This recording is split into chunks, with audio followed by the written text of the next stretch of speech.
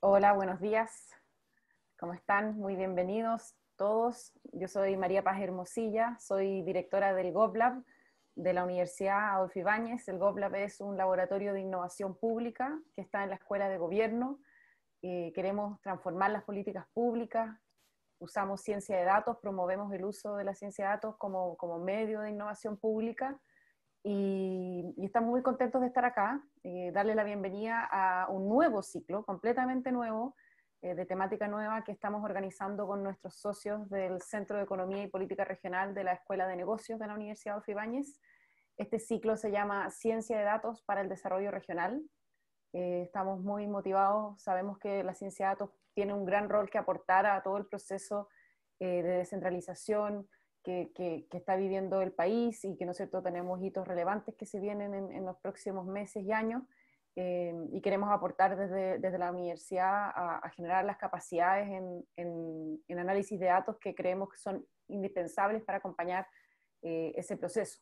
Así que hoy día tengo el orgullo y el honor de presentarles a Esteban López, que, que me acompaña. Eh, Esteban es profesor de la Escuela de Negocios es director ejecutivo del Centro de Economía y, Política Regional, eh, tiene un doctorado en planificación urbana y regional de la Universidad de Illinois en Urbana-Champaign, eh, tiene un magíster en, economía aplicada, ah, bueno, voy a ser en inglés mejor, en Applied and Agricultural Economics, eh, un magíster en ciencia regional de la Católica del Norte, y, eh, bueno, y es ingeniero comercial en, su pregrado de la Universidad de Tarapacá. O sea, tiene una larga trayectoria de, haber estudiado eh, no solamente en su doctorado y en su magíster temáticas regionales, sino también de haber, ¿no es cierto?, vivido en, en, regiones eh, y en el fondo es un impulsor y, por eso cuando a mí me preguntan si queremos hacer cosas con regiones, yo siempre llamo a Esteban y, y vamos a trabajar eh, en conjunto en todo lo que es iniciativas no solamente educativas, sino también ¿no cierto? de proyectos de investigación y otras cosas. Así que estoy muy contenta de, de, poder presentarlo y él nos va a hablar de qué pasa cuando analizamos datos de, en este caso, del mercado laboral y qué nos develan esos datos sobre la realidad en, en, regiones y específicamente lo que muestra, lo que, lo que nos va a contar es, la heterogeneidad que eso muestra y la necesidad, por lo tanto, de hacer políticas públicas que son diferenciadas. Y, en ese sentido, bueno, eh, el, el, aporte del análisis de datos y, y, y, un producto muy relevante que, que, tiene el CPR, que es un boletín laboral, que permite, está automatizado ya un análisis que, que, que provee de forma periódica a la comunidad información relevante para la toma de decisiones. Así que con con eso los dejo con Esteban. Muchas gracias, Esteban, por, ser socios en este, este viaje. Eh, y como decía Esteban, eh, invitarlos eh, el próximo año a, sumarse si les interesa convertirse en científicos de datos y no saben programar. Nuestro programa, el Diplomado de Big Data para Políticas Públicas, está diseñado para, para ustedes. Ya lleva cuatro años, el próximo año va a ser el quinto año. Vamos a tener una versión regional que va a liderar Esteban eh, y que va a estar focalizado, por ejemplo, los proyectos finales del diplomado, todos en problemáticas eh, de organismos públicos que, de las regiones del país, y además de todos los problemas que se discutan en el diplomado también. Así que estamos muy contentos de tener esa versión del diplomado y paralelo, digamos, a la versión que vamos a tener en Santiago. así que los invitamos a todos a eso y, y adelante, Esteban. Gracias, María Paz. Em, Voy a comenzar a compartir pantalla entonces para poder iniciar esta charla.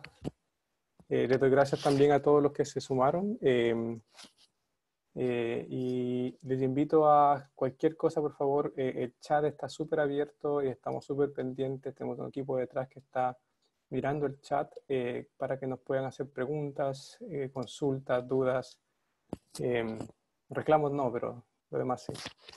Bueno, Em, eh, sin más como eh, demora, eh, lo que quiero mostrarles este, este, este, este día es contarles la experiencia y contarles una historia de cómo nos fue haciendo reportes automáticos, que son una cosa súper importante hoy en día en las instituciones públicas, en las instituciones privadas, que tienen y están amasando gran cantidad de información que sería de interés público tener en un reporte digerido, condensado que pueda contar lo importante de los datos pero que no lo pueden hacer porque no tienen este acceso a esta herramienta. Entonces la idea es, eh, ojalá, acercarlos un poco más a esto. Entonces, los contenidos, voy a tratar de hacer algo rápido, eh, donde les cuento cuál es el problema. Eh, y el problema más grande que con lo que estamos haciendo desde el GovLab y el CEPER es eh, tratar de entender que existe un vacío informacional en la realidad regional, en este caso en la laboral, que necesitaba tener, ser de alguna forma resuelto. Y esta es la, la, la idea del boletín laboral regional que nosotros hacemos. Eh, hablar un poquito de dónde, cómo generamos y cómo pensamos un, un, reporte automático, eh, pasando desde los datos hasta generar eh, información que sea digerida y entendiendo que hay un montón de procesos como la programación y el diseño gráfico, que yo me, me sorprendí harto cuánto diseño gráfico se, se, necesita si uno quiere sacar algo atractivo.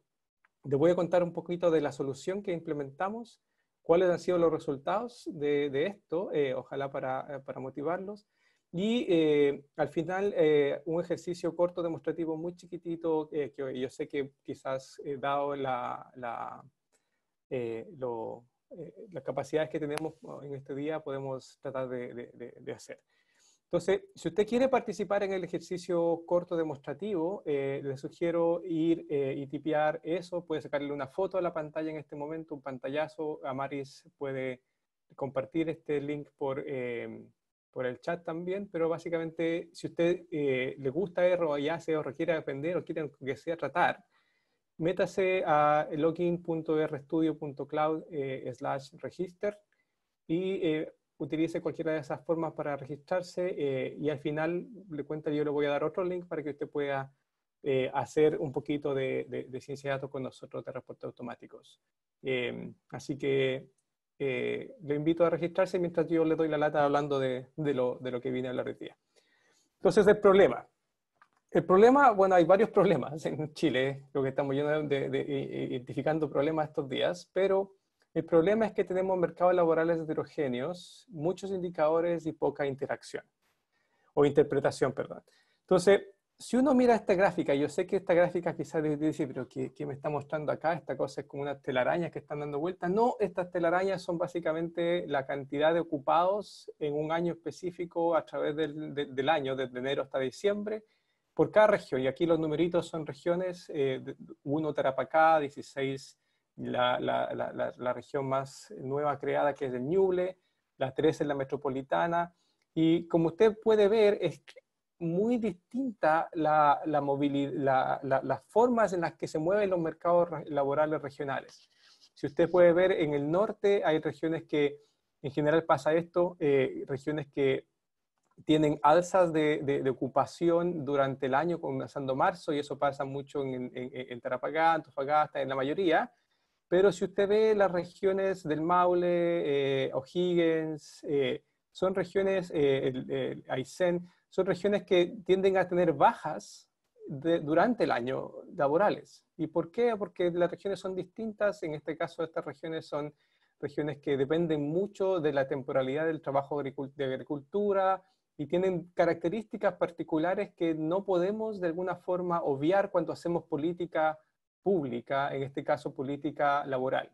Y como ustedes se imaginarán, hay un montón de subsidios que incluso en el contexto COVID, en el contexto de pandemia, se están haciendo eh, y se están haciendo con una mirada espacialmente ciega, sin mirar a las regiones, las distintas características de ellas para poder tener de alguna forma eh, regiones que sean o, políticas que sean eh, especializadas y vayan a resolver específicas necesidades de cada una de ellas. ¿Y por qué es importante esto? Es porque quizás si miramos el agregado y si miramos el país completo, podemos diseñar una política pensando en datos agregados cuando hacemos el doble clic vemos que quizás la política es contraintuitiva, contradictoria con lo que una región particular necesita, pero otras regiones sí.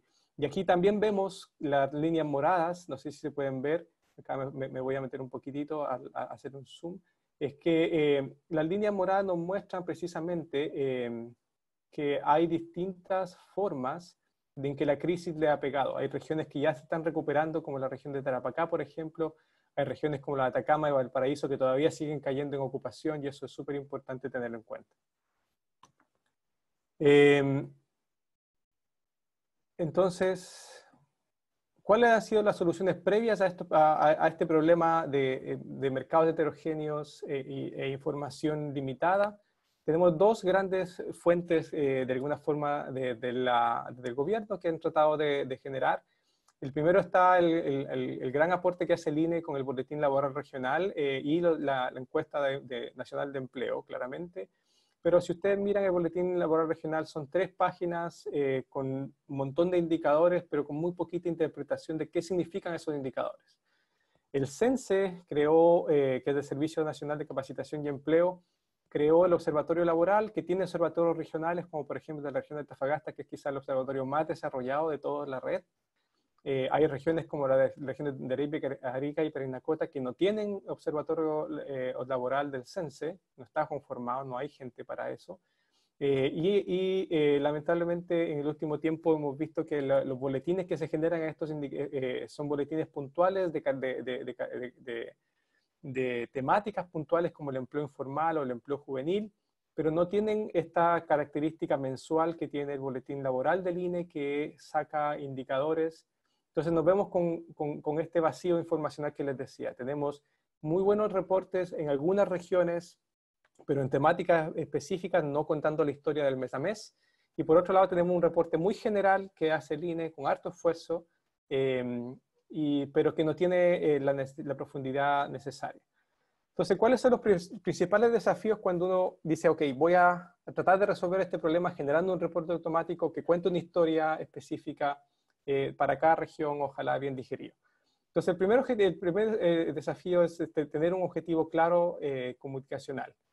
y una vez que uno define ese objetivo claro comunicacional, que nosotros definimos, y se lo voy a decir al tiro, uno tiene que comenzar a diseñar los contenidos y acá es súper importante tener en cuenta lo que se quiere comunicar versus lo que el público puede digerir el público que va a recibir el, el, el, mensaje. Y acá es una, o sea, para los, académicos como yo es, es una tarea eh, muy difícil poder ah, eh, pensar que lo que uno entiende, las otras personas eh, lo van a entender y ahí el, típico, la típica recomendación de, de, si, se lo explicas bien a tu abuelita y ella entiende, estás listo, funciona y hay que seguir implementándolo. Luego hay que tratar de diseñar el envoltorio bien, de cómo uno va a agarrar estos contenidos y, lo vamos a, poner en un papel lindo para que se vea bonito y sea atractivo. Y después hay que hacer, hay que hacer todo esto. Entonces hay que diseñar la estructura de los programas, cuántos scripts aquí y allá, y lo vamos a ver un poquito en, en la parte de práctica. Y después hay que programar, programar, programar. Hay que meter alta programación para poder generar eficiencia en la generación del reporte automático y también en, eh, en, en, la parte del diseño de los gráficos. Eh, y después hay que tener una buena estrategia de difusión de medios y de prensa, porque uno puede generar un buen producto, un buen reporte automático, pero después tener una pobre forma de difundirlo y el, reporte se queda de alguna forma sin tener eh, el impacto que uno quisiera. entonces, cuando hablamos desde los datos a la información, ¿Qué datos teníamos nosotros y qué datos existen hoy en día sobre el, el, mercado laboral? Está la encuesta nacional de empleo, que es una encuesta, para darle algunas dimensiones, es una encuesta mensual, trimestre móvil, que es panel rotativo, eh, y ahí básicamente a una ciudad la dividen en tres y cada mes van rotando qué, qué, qué parte de, de, la ciudad van uh, encuestando. Eh, más o menos tiene 100.000 observaciones por trimestre móvil, es decir, 100.000 observaciones por todas las, regiones que están involucradas, eh, o sea, por todo el país, perdón, eh, por cada trimestre móvil son 12 trimestres móviles en un año, y ahí tenemos muchos años para atrás, hasta el, desde el 2010 en adelante, la última eh, forma que se hizo para que la encuesta sea, que se pueda seguir. Entonces, esto, por ejemplo, si consideramos un año solamente, eh, tenemos 12 archivos de entre 50 y 100 megabytes que pueden ser alrededor de 4 eh, gigabytes por año. Entonces, si uno quiere tener series de tiempo de, 5 años, ya estamos hablando de harta información. Eh, y la encuesta tiene alrededor de 150 variables, 6 secciones con dimensiones distintas, preguntas nuevas, por ejemplo, en el contexto COVID que se van sumando. Entonces, son hartos, pero hartos datos que no es una encuesta así como Big Data gigantesca, que uno podría ya ver, por ejemplo, en los, en, los datos que hoy en día empresas como Entel o Movistar o Telefónica tienen de la movilidad de cada celular en cada minuto del día y el, consumo de, datos, etcétera, etcétera. Entonces, siendo una encuesta pequeña, eh, sí es una encuesta que necesita poder eh, eh, procesarse de manera eficiente. Y además de la encuesta nacional de empleo, nuestra cosa diferenciadora era que queríamos tener encuestas complementarias que nos ayuden a entender el mercado laboral, como la encuesta de turismo, la encuesta mensal de alojamiento de turismo, la, la NESI, que es el complemento de ingresos de la encuesta de empleo. Eh, con el COVID-19 metimos eh, datos de movilidad, la encuesta, perdón, la ley de protección del empleo, datos de la comisaría virtual y los permisos que se entregaban, etcétera, etcétera. Entonces son muchos datos que hay que tratar de considerarlos y tener una, una, una idea clara. Entonces el objetivo, primero comenzamos con la región de Valparaíso eh, y fuimos eh, definiendo que queríamos eh, contribuir al desarrollo regional entregando información detallada de manera veraz y oportuna sobre el mercado laboral de la región, profundizar el análisis y en interpretación contando una historia, de cómo va la novela del mercado laboral de la región, complementando la información que entrega el Boletín Laboral del INE y se usa ahí la encuesta nacional de empleo. Entonces, esta diapositiva lo que quiero mostrarles es el proceso tan complejo que a veces eh, resulta eh, poder hacer eh, este tipo de cosas, reporte automático. Aquí en la, en, la, en, la, izquierda ustedes ven una cosa que, que, fue nuestro, nuestro primer, primer, primer draft de boletín que es un boletín que teníamos un error grande ahí que básicamente saturamos de gráficos e información y estábamos tratando de poner unos, unos textos acá que expliquen algo de esto, pero básicamente era como un, una bofetada de información gráfica para personas que no iban a entender esa información gráfica eh, como nosotros la entendíamos. Entonces, eh, es un error grave que hicimos y que eh, nos costó de alguna forma tiempo poder entender este proceso. Error 2, es mostrar todas las categorías que hay. A veces, por ejemplo, uno necesita entender cuál es la ocupación y ya es un dato importante, pero eh, dentro de la ocupación y dentro de la caracterización del mercado laboral hay muchas formas de verlo, hay muchas distintas formas. Entonces están los inactivos, los inactivos que no están trabajando y los inactivos que quieren trabajar, etcétera, etcétera. Eh, y un error tres es no pensar que el lector puede digerir. Entonces, por ejemplo, uno en este gráfico de acá, que si yo sé que se ve chiquitito, eh, eh, lo que uno intentaba mostrar es que está el mercado laboral por cada sector es distinto. Entonces tenemos, eh, mm, eh, aquí tenemos 15 sectores por 16 regiones y si los dejamos en comuna, entonces la dimensionalidad del problema va creciendo y uno tiene que de verdad sentarse a pensar qué es lo que necesita la persona saber, qué es lo que queremos comunicar y qué es lo que puede la persona digerir.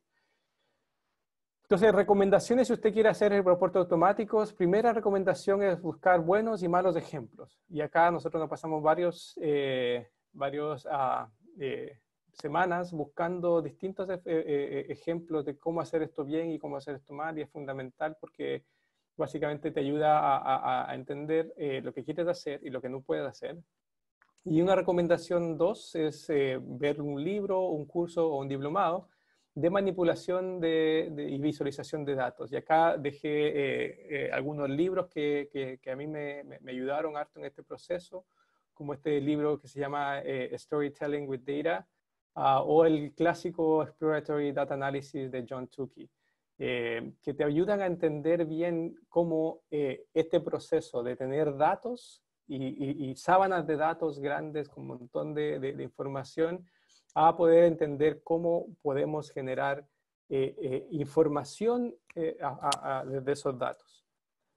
Entonces, ah, la tercera recomendación es más que nada entender esto de lo que se llama el análisis exploratorio de datos, que en inglés, que lo puse aquí en inglés porque básicamente si usted lo busca así va a salir más información de esta forma, que se llama Exploratory Data Analysis, EDA, que la idea es tratar de eh, descubrir potenciales patrones que son explicables eh, y, tratar de utilizar todas las técnicas de visualización para poder tratar de entender y descubrir esos, eh, esos patrones, como las tablas, estadística descriptiva, gráficos, etcétera, y entender de alguna forma que los datos tienen una naturaleza multivariada, y este problema se ha incrementado bastante con, desde que comenzó la era del Big Data, porque cada vez tenemos más y más datos y más dimensiones de los datos.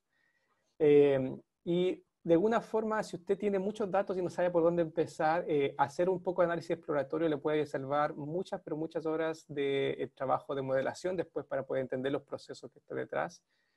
Y ojalá eh, la idea es que usted pueda desde este análisis eh, detectar lo esperado y ojalá descubrir cosas que no esperaba descubrir, pero que son interesantes y que valen la pena comunicar. Y en ese proceso, eh, o sea, este es un meme que a mí me, me, me, eh, que es como un, una, una, advertencia de, de, que uno a veces puede tener un muy buen gráfico para los datos, un muy buen tipo de gráfico para los datos, pero a veces uno se distrae y eh, quiere hacer una visualización súper fancy, nueva, etcétera, etcétera, porque no es la mejor forma de visualizar los datos. Entonces está ese peligro ahí latente detrás de todo este proceso como recomendación se los dejo ahí. Entonces, la solución eh, básicamente es eh, hacer reportes automatizados en R Markdown. Eh, R Markdown existió por mucho tiempo. Es un lenguaje en donde usted, con signos de, por ejemplo, el signo gato de la computadora, el signo menos, etcétera, etcétera, puede generar textos que sean legibles y que puedan entenderse y traspasarse a distintos otros lenguajes. Entonces usted escribe un texto llano con, con símbolos específicos y la idea es que la computadora tome e, ese texto y si usted le pide que lo transforme en un documento HTML para difusión a través de su página web, lo hace y usted va a tener un documento en HTML. No necesita saber programar en HTML, no necesita saber página web, solo necesita poder entender este, este, este lenguaje básico de Markdown, que se lo voy a explicar hoy. O si necesita que el texto esté en Word, también se puede hacer en PowerPoint, en LaTeX, en PDF, en lo que usted quiera. ¿Okay? Entonces, le voy a mostrar más o menos cómo es el proceso. Entonces, cuando nosotros ya definimos nuestro boletín, dijimos, mira, queremos tener un panorama general que dé cifras y datos de la evolución de las personas ocupadas, cesantes y inactivas, que es la situación ocupacional de, la, de, la, de, cada, de cada, región. También queremos tener un panorama de, los sectores, ver cómo se comportan los sectores, ver cómo se comporta eh, el panorama educativo, entender la informalidad laboral y tener quizás un tema del mes que vaya, vaya cambiando y vaya mostrando la contingencia. Entonces, una vez que diseñamos el, e, e, esta, esta, esta, carcasa de cuáles son la, la, información que creemos que es la más oportuna y relevante para las personas, está el proceso de creación, en donde uno, tiene todas las bases de datos del INE y uno las procesa utilizando ciencia de datos y manejo de datos en, en R. Eh, y uno genera los códigos para, por ejemplo, sacar unos gráficos específicos y uno después a través de, de estos paquetes que se llama Markdown y Neat, como que uno teje el código base, el código de fuente eh, más básico y resulta con un boletín laboral como el que ustedes ven acá, con, con harto diseño bien digerido, bien atractivo para la comunidad, eh, que, eh, para que sea difundido. Entonces, eh, lo que nosotros hacemos en el boletín es que, como les decía, vamos mes a mes siguiendo los cambios y contamos una historia de lo que está pasando en, el, en, el, en, en, en términos del mercado laboral de cada región. Eh, profundizamos en cosas que otras personas no hacen, como por ejemplo ver eh, los motivos de deserción laboral y entender que, por ejemplo, muchas personas, incluso con la pandemia, comenzaron a decir que no estaban buscando trabajo eh, y que habían salido de la fuerza laboral y estaban ahora como inactivos porque de verdad creían que no iban a encontrar trabajo. Y entonces había un sentimiento de, eh, de desafección con el mercado laboral o de desaliento que eh, era importante revelar. Y hemos tenido hartos titulares de prensa en ese sentido. Eh, analizamos distintas composiciones por industria, contrastamos, por ejemplo, los formales con los informales eh, entre el mes pasado y el mes anterior. Y todo esto son gráficos que le dimos muchas vueltas, pero que básicamente hoy en día cuentan una historia. Eh, nuestras personas que nos leen frecuentemente ya están acostumbrados a leer lo que está pasando y podemos entregar una historia bien digerida, como contar la novela de qué está pasando en cada región con el mercado laboral de la región. Entonces, ¿cuáles han sido los resultados? Y acá eh, quizás las imágenes hablan por sí solas, como ustedes pueden ver. Eh, esto es solo una muestra de las distintas cosas y, medios en donde hemos podido eh, o en donde hemos visto que nuestro contenido a través de este reporte automático ha sido de interés público. Donde eh, hemos salido, en, por ejemplo, en el canal 24 horas de regiones de Antofagasta, donde uno de nuestros colaboradores, Patricia que estuvo. La semana pasada eh, yo estuve hablando en Mega sobre esto, muy cortito, eh, sobre cómo la desocupación ha golpeado más a las mujeres y a las jefas de hogar, que especialmente aquellas que no tienen pareja. Nuestro colaborador también, Juan Pedro Eves, ha estado hablando en las radios, en Radio Bio en Pauta, Bloomberg, acá, y hemos tenido distintas eh, eh, apariciones de empresa, como aquí está, que salió esta semana pasada en la tercera, en, en, la Estrella de Arica, en el Diario Sur de Chile, en Mercurio Valparaíso, etcétera, etcétera, incluso, por ejemplo, entrevistas grandes en, eh, en, en medios como CIPER. Entonces, de alguna forma, nosotros hemos visto y hemos palpado que nuestro nuestra, objetivo inicial de querer hacer un, uh, un uh, un bien público a través de mostrar información que era necesaria mostrar ha sido una, un, éxito en ese sentido. Eh, hoy en día yo creo que eh, eh, todos los meses hay periodistas que nos están buscando y nos están esperando ver qué, qué vamos a decir sobre qué, qué, pasa en las regiones. Y esto es súper importante porque nosotros pensábamos que iba a ser difícil meterse en regiones con, con información, pero hay mucho abandono informacional en las regiones. No hay, no, Santiago yo creo que tiene muchos más centros de, investigación y de, y de, pensamiento que no existen en regiones. Y regiones es un tema que está básicamente olvidado, pero nosotros como Centro de Economía y Política Regional, el Laboratorio de Gobierno como un eh, ente eh, de, innovación público, eh, necesita y, vemos que las regiones son un componente esencial donde vive el 60% de la población de Chile y que necesita ser mejor visibilizada. Entonces, eso es eh, lo, que, lo, que, lo que estamos, lo que viene. Eh, este boletín nos ha obligado a renovarnos. Este es un snapshot chiquitito de nuestra nueva página web que vamos a lanzar desde el próximo mes. Estamos a punto de terminarla porque básicamente nuestra página web ya no da abasto con un poquito las visitas y, el, tiempo que ya tiene. Entonces estamos renovando nuestra página web, estamos generando un boletín automático eh, para el CEPE porque hemos crecido harto desde, esta, ah, desde esto que estamos haciendo. Eh, por ejemplo, el Centro de Cohesión y Conflicto, COES, em, eh, se acercó a nosotros y nos ofreció eh, su apoyo para poder escalar este boletín que antes solo lo hacíamos para la región de Valparaíso y la región metropolitana, a, a las distintas otras regiones del país y llevamos como cuatro meses produciendo un reporte mensual nuevo para la región de Antofagasta, ya está listo, para la región de Biobío ya se hace, para la región de Arica, Parinacota, y vamos a seguir aumentando las regiones eh, a medida que podamos.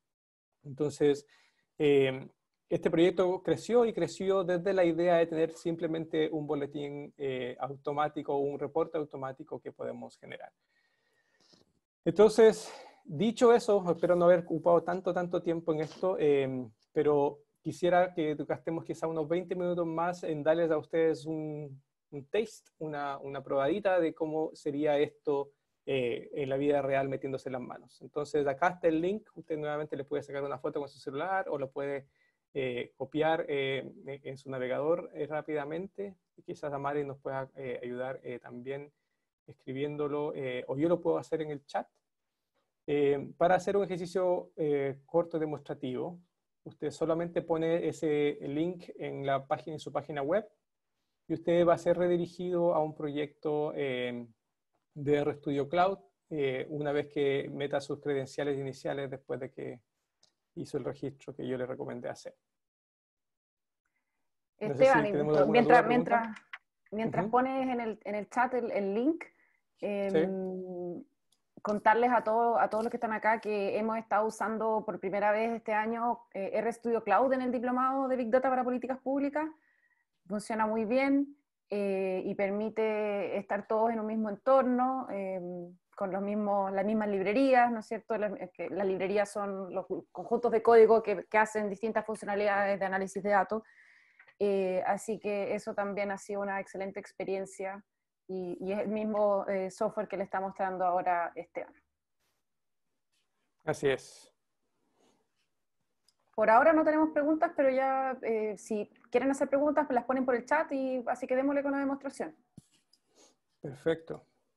Entonces yo debo estar compartiendo ahora em, mi, No sé, ¿pueden ver mi...? Sí, vemos tu RStudio, o sea, tu, tu RStudio Cloud, sí, lo vemos. Perfecto.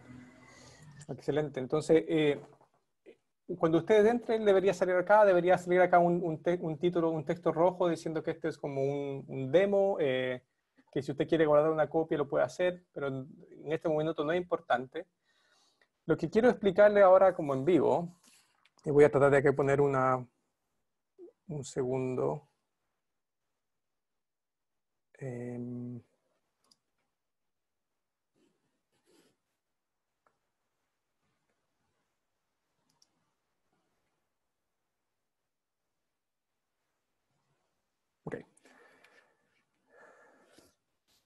Entonces la idea es mostrarle R, esto es R, RStudio, básicamente, eh, un programa que permite hacer muchas cosas de estadísticas, pero también estas cosas de automatización reportes. Si usted viene a, este eh, tipo de acá, usted tiene distintos eh, tipos de textos que puede, o de, o de, archivos que puede crear. El que vamos a estar creando esta vez es R Markdown, que es para hacer reportes automáticos. Si usted pincha ahí, esto le da un status error. Voy a hacer un refresh. Esto debe estar desde en la noche, así que...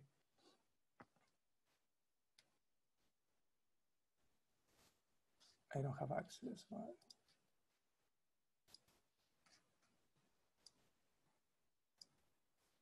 Un segundo. Mientras Esteban lo, lo, lo, conecta, les, aprovecho de adelantar de que el próximo año por primera vez vamos a sacar un curso de automatización de reportes con R, eh, que lo va, lo va a enseñar un, profesor del diplomado que es Pablo Aguirre, que también es funcionario público, eh, ese curso, eso sí, es para personas que ya saben R, eh, que han hecho, por ejemplo, nuestro curso online de introducción a R, que han hecho algún diplomado con nosotros o con otra universidad, o lo aprendieron en... Pero va a haber un, un test de entrada de, R, digamos, un, mínimo requisito para poder tomar ese curso, pero estamos muy contentos porque sabemos que muchos organismos públicos sufren con el tema de los reportes y, gastan mucho tiempo en crear el reporte y no ese tiempo en analizar la información, que sería lo lógico, ¿no es cierto? Así que esperamos que con este curso aportar a las personas que ya saben R, pero que quieren aprender específicamente automatización de reportes. Bien. Dale, Esteban. Gracias, María Paz. Em, entonces, si usted pincha acá en, en crear un R Markdown, le sale una, una, ventana que le dice qué título quiere crear, qué título tiene esta cosa, y le dice cuál es el, el output por defecto. Entonces, básicamente, yo no voy a hacer nada acá, solo voy a poner OK. Em, y esto va a crear un archivo nuevo acá, que tiene distintas partes, y ahí quizá me, quiero detener en un momento. Entonces, la primera cosa que usted eh, debe entender es que tiene una, una parte de identificación de esto, eh, que, que, que, están eh, puestas acá con estas tres líneas de arriba y abajo, que uno puede cambiarlas como usted quiera, si puede, puede decir intento 1, puede cambiar el autor, puede cambiar la fecha, y esto voy a mostrar después que también se puede aumentar los tipos de parámetros que tiene este, este documento. Eh, y la otra cosa que es importante es ir distinguiendo lo que es un chunk o un, pedazo de código de lo que es un texto normal.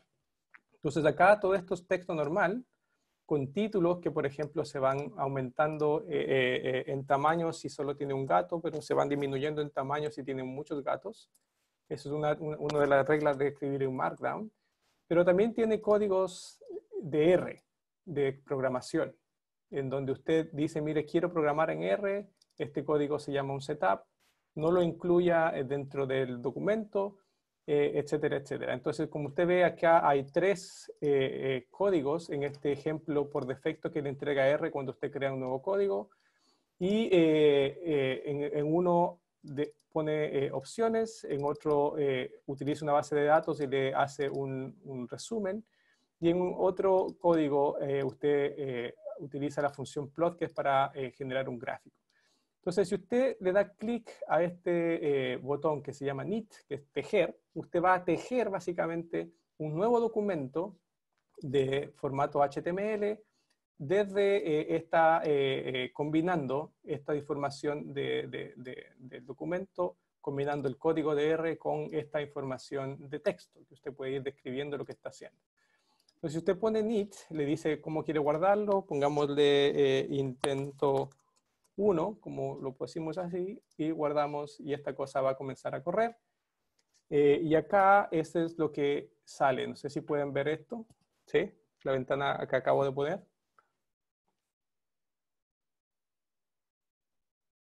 Sí, yo la veo. Perfecto.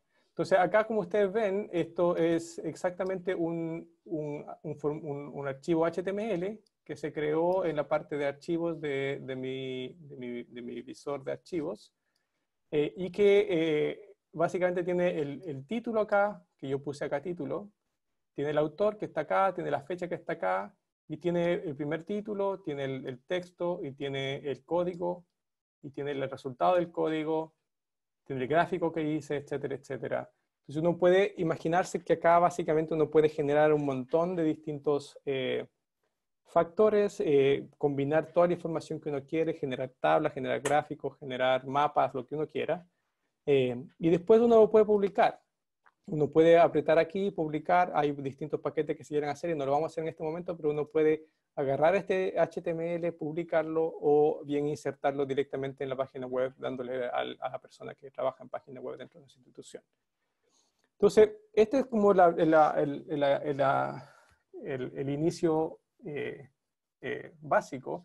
Y en, la carpeta demo boletín, yo eh, les puse un demo un poquito más avanzado que les mostraría distintas funcionalidades. Entonces, va a abrir esta, este archivo que se llama 2020-07 boletín AR, .rmd. RMD significa R Markdown. Y si usted lo abre, se abre un archivo muy similar que tiene distintas, eh, eh, o sea, tiene la misma estructura, tiene una estructura de, de, parámetros, tiene una estructura de código de R y tiene texto.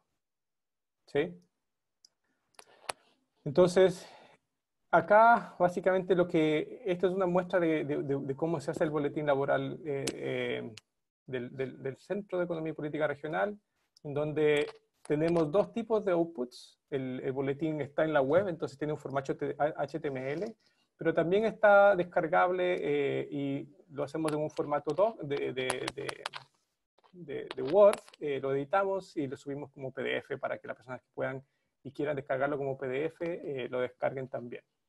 Y tenemos aquí una función súper buena que es generar parámetros, en donde uno puede, por ejemplo, Acá tengo la región 12 y se va a generar el boletín de la región 12, pero también puedo cambiar el año, puedo cambiar el mes y puedo cambiar el tipo de output, si quiero Word o quiero HTML, eh, que por ahora lo puedo dejar como HTML. Entonces, esto nos va a ayudar harto para poder eh, automatizar y uno puede generar los parámetros que uno quiera. Entonces, usted tiene datos de, de comunas, usted puede poner un parámetro de comunas, si usted tiene datos de, de, de manzanas, puede generar datos de manzanas, etcétera, etcétera. Eh, o de plantas, de empresa, lo que usted quiera, eh, o de servicio. Eh, y después aquí uno define parámetros adicionales, entonces usted dice, mire, los parámetros de las regiones quiero que se guarden objetos que se llaman rec, month y output. creamos unos objetos iniciales para que los, los, plots nos salgan lindos. Definimos el path donde están los, los, los datos y los resultados. Tenemos otro código de chunk para tener los setups, que como veíamos anteriormente, para que los mensajes no salgan eh, y solo salga la información que queremos mostrar, ni los códigos tampoco salgan. Y acá eh, utilizamos la gran capacidad que tiene R de ir eh, llamando códigos que están aparte. Entonces, por ejemplo, acá dice cargar paquetes.r, que es un, un script de código R que si usted lo abre va a ver que básicamente lo que hace es que genera una lista de paquetes los, eh, y, los, y, los, carga y los instala si no están instalados y chequea eso. Entonces uno puede correr esta, esta, esta lista de códigos acá, corriendo esto run, y va a correr sin problema. Usted puede eh, poner eso ahí y aquí va a correr. Si usted pregunta qué es lista de paquetes, está ahí y es básicamente R una programación orientada al objeto, pero la, la, la, belleza de esto es que básicamente usted está llamando todo ese código, que puede ser dos líneas o pueden ser 500.000 líneas, y lo va a correr de una sola con este botón en este pedacito, con esta línea de código. Entonces su reporte automático puede estar llamando distintas actividades, distintas acciones, siempre eh, en distintas partes. Y acá, por ejemplo, tengo otro que se llama Data Prep, que hace la preparación de los datos, que si usted le abre en este caso solo tiene tres líneas, va a cargar los datos de la encuesta nacional de empleo del mes 6 de todo el país, muy rápido, la tiene usted ahí guardada, son 60 megabytes. Y eh, si volvemos acá, eh, va a ver que aquí comienza el título del boletín, donde uno puede decir, mira, quiero que me ponga la región D, código R, desde las regiones que puedo hacer, cambiando los parámetros, del trimestre R, del año tanto y la, fecha tanto. Entonces, de esta manera, usted va a ir generando todos los procesos o los preprocesos de, manipulación de datos y mezclándolos con eh, cómo usted quiere que se vaya visualizando esto en su, en su, en su reporte automático. Entonces, de acá tengo un nuevo eh, chunk de, o un nuevo eh, bloque de, código de gráficos. Y si yo veo acá gráficos, tengo dos gráficos que hice en base a los datos que, al, data prep que, hice antes. Y estos gráficos básicamente tengo unos nombres y los voy llamando a medida que uno quiera. Entonces genero los códigos y después voy llamando los gráficos y le digo si es Word, ponga G1, si es web, ponga web y generan estos gráficos que están acá. ¿sí? Entonces, sin tener que eh, seguir mucho de esto, eh, voy a apretar NIT para mostrarles cómo esto funciona y esto lo que va a hacer es que va a tejer estas tres partes fundamentales que son los parámetros, los códigos de R con los textos, como por ejemplo, este gráfico muestra bla, bla, título 1, etcétera, etcétera, título 2, etcétera, etcétera. ¿Ok? Entonces voy a correr esto se va a demorar un poco, como ustedes ven, da unos porcentajes de cuánto va andando. Y eh, de manera rápida usted va a ver que eh, sale una ventana en donde usted le entrega la información del título, de la región específica, como estamos viendo acá, esta es la región 12, que es la región de Magallanes, el trimestre que estamos evaluando, eh, la fecha de hoy, que es el 16 de octubre, y el primer eh, eh, título que, estábamos, la descripción de ese título, y acá está un gráfico que muestra la ocupación habitual de, específica y la muestra eh, una funcionalidad súper buena para la web, para las personas, para poder entender qué números es, en este caso, las personas que, por ejemplo, no buscan trabajo por razones de desaliento, en el, fueron 2014 en, este, en esta región. O sea, 2014 personas eh, eh, eh, no buscaron trabajo porque estaban desalentadas. Pero solo, yo solo 891 no buscaron trabajo porque estaban por razones estacionales. Y si uno sigue bajando, ve que hay en la región de Magallanes en este momento 63.521 personas que están ah, trabajando o ocupados tradicionales. Y de la misma manera acá simplemente cambié de variable y uno puede ver una, una, una variable más agregada del, del, mercado laboral, donde uno puede ver cuántos son los inactivos que no buscaron y estuvieron disponibles, cuántos son los inactivos que estuvieron disponibles para trabajar en esta región y cuántos son los ocupados tradicionales, que como ustedes se dan cuenta del mismo número del de arriba. Y, eso, y ahí está básicamente su HTML. Si usted quiere, por ejemplo, hacerlo de la región, no sé, de Atacama, pone 4, que es la región de Atacama, y vuelve a correr NIT, y esto le va a generar ahora el reporte de la nueva región, y podría, como usted ve, cambiar el año, cambiar el este, y le va a generar un nuevo reporte, en este caso ahora de la región de Coquimbo, con, con datos distintos, entregando una realidad distinta eh, en cada caso. Eh, en este caso la región de, Coquimbo tiene eh, 242 mil eh, personas ocupadas en este trimestre, y así sucesivamente. Usted puede imaginarse que las combinaciones son infinitas, pero que le permite a usted de alguna forma eh, automatizar y generar un reporte, en este caso de cada región del mercado laboral, en manera de segundos. O sea, en segundos, con muy poquito código, yo acabo de generar un reporte automático que simplemente de alguna forma es como muy burdo, pero el reporte automático que genera el, el, el, boletín laboral que nosotros tenemos no es mucho más distinto. Si ustedes se van a la página de nuestro boletín laboral,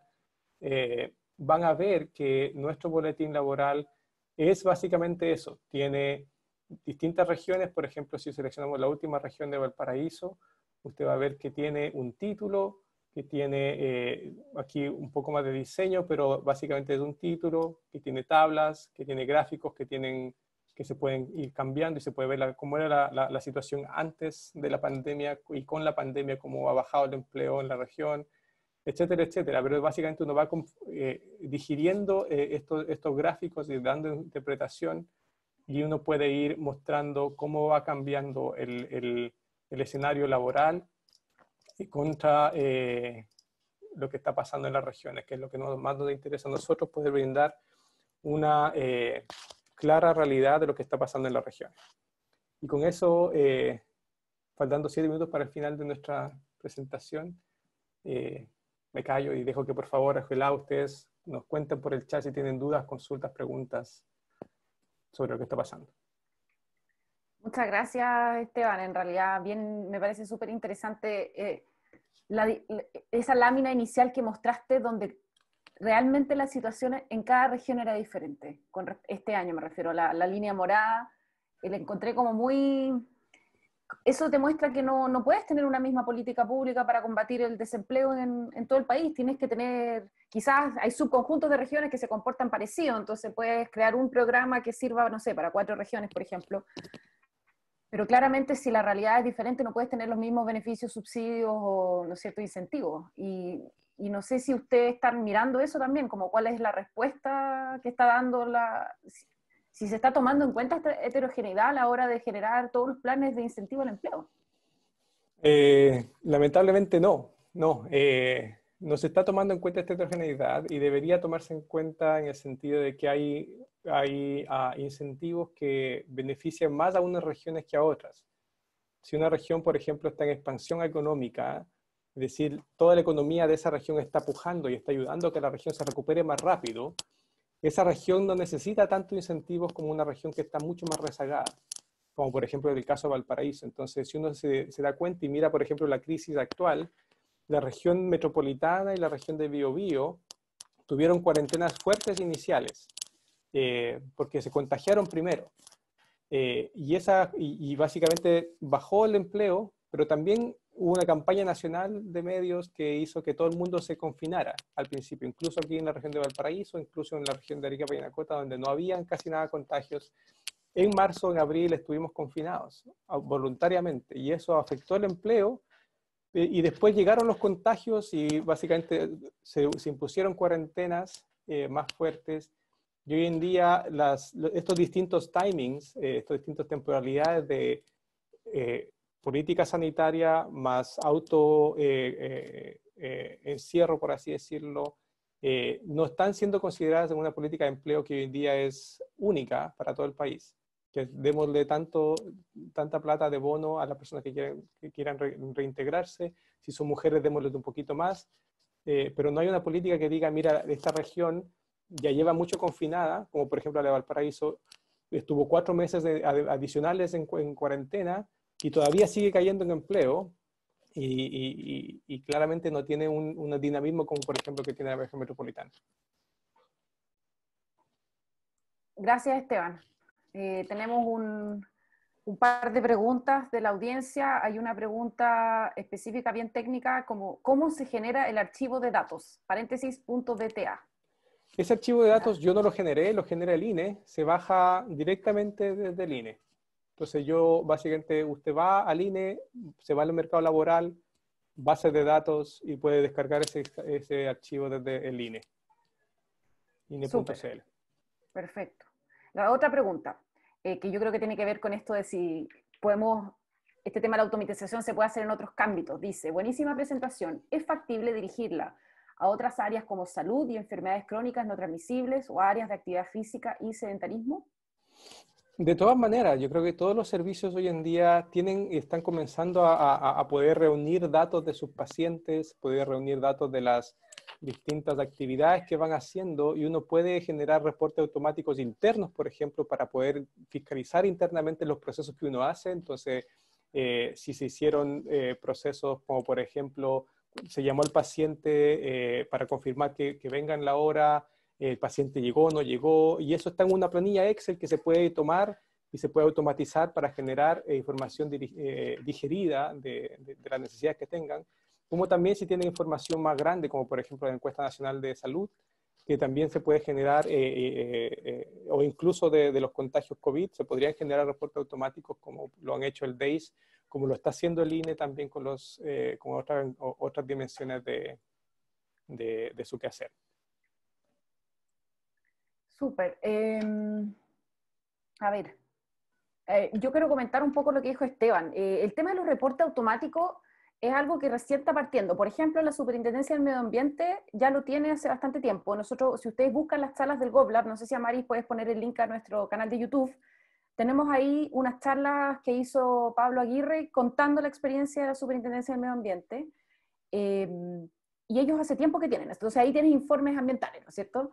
Los alumnos nuestros del Diplomado de Big Data para Políticas Públicas algunos de ellos me, han contado que incluso durante el diplomado o después eh, automatizan sus reportes, porque en el fondo aprenden a programar en R y finalmente se dan cuenta de que en vez de estar haciendo en Excel, las cosas pueden dejarlas listas. Me acuerdo un alumno que era de, la dirección de presupuestos que durante el diplomado empezó, programó los reportes que hacía habitualmente y los dejó listos para poder dedicar ese tiempo a analizar, porque obviamente el reporte también tiene interpretación y, la gracia es usar nuestro tiempo en eso. Entonces, ahora, no, no, no, tenemos como, no sé quién más lo está haciendo, pero claramente en la medida que hayan fuentes de datos periódicas, siempre se pueden hacer reportes automatizados. Entonces, si por ejemplo hubiera una encuesta periódica de, no sé, de bienestar, de salud, o, bueno, obviamente hay datos periódicos de salud y enfermedades crónicas y transmisibles, eh, datos estadísticos de eso hay, ¿no es cierto? El, el DAIS, me imagino que quizás otras fuentes, pero el DAIS es el Departamento de Estadística e Información en Salud del MinSal. Em, así que sí, en la medida que hayan datos periódicos, eh, se puede llevar este conocimiento de automatización a cualquier, a cualquier em, ámbito. Y con respecto a la pregunta que alguien hacía del curso de automatización, todavía no tenemos el link porque todavía no está publicado. Eh, sí, el curso ya el profesor diseñó y estamos todos en el proceso como de, de, armar como la parte de, de inscripción. Así que probablemente de aquí a un mes o algo así vamos a tener arriba ese curso que esperamos darlo como en abril del otro año. Em, así que por ahora no tenemos, no le podemos mandar un link con esa información, pero no se preocupen que, que se viene pronto. Lo que sí tenemos es el curso online de introducción a R, que ese curso es un curso que es, grabado, digamos, asincrónico, o sea, ustedes lo hacen en el ritmo que ustedes quieren, y ese curso parte de cero, o sea, es para personas que son economistas, administradores públicos, científicos sociales, gente de la salud, cualquier persona que quiera usar R, que ya por ejemplo usa Excel o SPSS, pero quiere cambiarse a R y no sabe programar. Ese curso está diseñado para eso eh, y es un curso online que ahí estoy poniendo el link. Em, así que eso. La Maris también, gracias a Maris. Entonces, bueno, eso sería con respecto a las preguntas. No sé si alguien más tiene otra. Ah, Alguien pregunta si en el diplomado de Big Data se verá en profundidad lo que vimos hoy de generar reportes automáticos. En el diplomado lo que se enseña es eh, distintas técnicas de ciencia de datos en R, que luego te permitirían eh, generar un reporte, pero no, tiene un módulo de automatización de reportes. Los módulos son orientados a las técnicas, por ejemplo, Machine Learning, ¿no es cierto? Aprender sobre aprendizaje supervisado, no supervisado, todo esto en R, que no en la parte teórica, o sea, no solo la parte teórica, sino lo práctico. Pero como yo les contaba, los alumnos con lo que aprenden, luego eh, pueden en el fondo automatizar un análisis. Eh, obviamente hay una parte de R Markdown que también algunos alumnos ya lo empiezan a usar, especialmente para el trabajo final. Eh, así que, si bien no, es un módulo, sí ha sido un resultado del aprender a analizar datos en R y con, con, la profundidad que se aprende también, porque en el fondo es, es, un diplomado que no se queda como en que te muestran un análisis, sino los alumnos desde el módulo 2 están trabajando, o sea, desde, desde, el principio están en un curso de nivelación y luego están trabajando, todas las tareas se entregan en R y, y eso te obliga a aprender, no solamente a pensar que... como sabes. para complementar, el, el, nivel del diplomado es bastante más alto que, que, lo que estoy mostrando ahora, en el sentido de que usted va a poder, de todas maneras, eh, poder... Eh, eh, andar en bicicleta o, por ejemplo, si ya sabe manejar una moto, más o menos. Usted tiene el equilibrio suficiente eh, y la programación suficiente va a adquirirla en el diplomado para poder después aplicar y, y, hacer esta, esta, esta, otra cosa que automatizar reportes. Y no solo va a tener ese equilibrio de codificación, sino que va a tener también una capacidad de análisis mucho más profunda para poder generar este contenido y este diseño que yo les decía, que es muy necesario tenerlo bien digerido. No solo va a poder hacer los gráficos o programar gráficos, sino que va a pensar qué gráfico es importante, cómo muestra información y quizás incluso poner alguna información no solo descriptiva, sino que más diferencial, que diga o prediga qué va a pasar. Puede tener, por ejemplo, un reporte interno de cuánta va a ser la tasa de, no asistencia a las horas del, doctor en su SAPU, por ejemplo. Eso es muy posible. Sí, en, en, ese sentido, lo interesante del diplomado es que en el módulo final es un taller aplicado, entonces los alumnos postulan antes con problemas propios de su servicio. Entonces, eh, por ejemplo, recuerdo un proyecto del IPS que buscaba entender eh, quiénes no estaban recibiendo la pensión básica solidaria, a pesar de tener los requisitos para recibirla, y entender ese fenómeno, porque aunque no lo crean, personas que debieran recibir esa pensión no la están recibiendo. Y el IPS hace un esfuerzo proactivo por tratar de llegar a esas personas para que accedan a los beneficios sociales que el Estado les, da. Obviamente estamos hablando de personas en, ¿no es cierto? En, de pobreza o extrema pobreza, entonces em, ahí hay un trabajo de análisis de datos. Han habido proyectos en torno a, mm, por ejemplo, recuerdo unos alumnos que hicieron usando datos abiertos de la Superintendencia del Medio Ambiente, un análisis sobre si las empresas están cumpliendo sus normas de, de RILES, de, los desechos, ¿no es cierto?, como un fiscalizador ciudadano. Eh, hay un proyecto que también se hizo en el servicio civil para estimar el riesgo de deserción en los concursos de alta dirección pública, que es un proyecto que está implementando ahora ese alumno que es jefe del área de gestión de información. Otro proyecto de predecir calidad del aire. Eh, o sea, básicamente se trabajan en proyectos reales de los alumnos, eh, que son alumnos de servicios públicos o de, también nos ha tocado de organismos internacionales, de gremios, eh, de centros de estudio también, de empresas que se relacionan, y, y SAPRES, AFP, todo lo que es mercados regulados también, empresas que tienen mucha relación con el sector público, también hemos tenido alumnos, así que, mm, y, en el módulo final hacen un proyecto inicial, completo. Tuvimos uno de Cernapesca en torno a fiscalización de cuotas, hemos tenido de, distintos organismos públicos y esperamos tener muchos más. Eh, el próximo año vamos a tener, como les decía, uno enfocado hacia regiones, el diplomado eh, que, vamos, que dirige Esteban con mi apoyo y luego uno en, Santiago también. Así que esperamos que se puedan sumar. Veo que no hay más preguntas por ahora. Eh, pero felicitar al CPR por, por, por, el, boletín laboral, en realidad un producto súper interesante eh, y qué bueno que ha recibido la visibilidad que, que ha tenido. así que los felicito Esteban y y bueno, cuando tengamos el tema de la próxima charla de ciencia de datos para el desarrollo regional, los vamos a invitar, ya que asistieron, les vamos a mandar un correo invitándolos. Eh, y eso, muchas gracias. No sé, Esteban, ¿algunas palabras al cierre? No, incentivarlos a que, incentivarlas a que, que, no miren esto como una montaña de, de, trabajo imposible de lograr, sino que como un desafío bonito para poder eh, sumarse como a, a, la masa crítica, a la, a la, necesidad de personas que, eh, que, que, que las regiones necesitan eh, sean empoderadas. Yo creo que no sé si cuántos de ustedes son de regiones, pero la idea de todo esto es poder empoderar a las personas de regiones para que entiendan que el desarrollo local va a venir desde sus manos y desde la visibilización de información que ojalá debería ser pública, la generación de más transparencia en nuestros procesos locales eh, y, la información es poder. Entonces, esto es básicamente para una herramienta para generar información, ojalá que apoye a la toma de decisiones públicas en regiones. Así que cualquier cosa estoy disponible. Eh, si me buscan en, en, la, en, la, página de la universidad, me van a encontrar, me pueden escribir. Así que eso, muchas gracias por